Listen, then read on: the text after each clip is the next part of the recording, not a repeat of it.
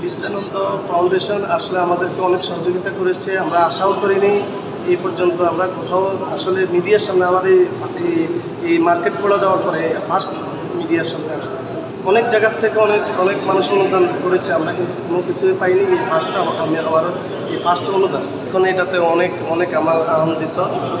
আশাও করিনি আসলে। এই পর্যন্ত আমরা কোথাও থেকে হেল্প পাইনি। এখান থেকে আমাদেরকে লিস্ট করে যে হেল্প করা হয়েছে আমি তো আনন্দিত, যেটা কল্পনাবিহীন এটা সাময়িক একটা আমাদের সব মানে চলার জন্য সাময়িক একটা আমাদের সাহায্য হয়েছে।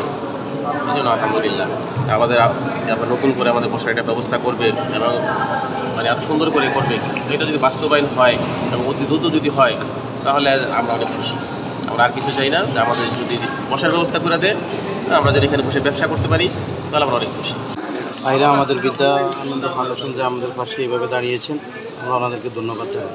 এর পাশাপাশি জেলা প্রশাসক কার্যালয়ের প্রধান যিনি আসছেন উনি আমাদের পাশে দাঁড়িয়েছেন। আমরা ধন্যবাদ জানাই। আর বাংলাদেশ প্রধানমন্ত্রীকে আমরা ধন্যবাদ জানাই।